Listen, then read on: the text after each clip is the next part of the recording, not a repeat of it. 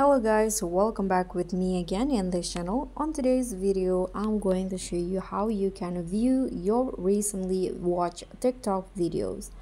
So if you want to see what videos on tiktok that you've already watched you can just go to your uh, activity your watch history and this is what you are going to do. First you can go to your profile and then click on the three lines icon at the top right corner.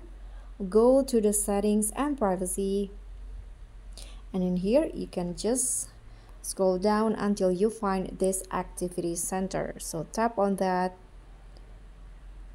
And you'll see this watch history. So if you go to the watch history you can see all of the video that you have watched. You can also filter it by date if you want to for example uh, yesterday last week last month or you can also choose a specific day date range.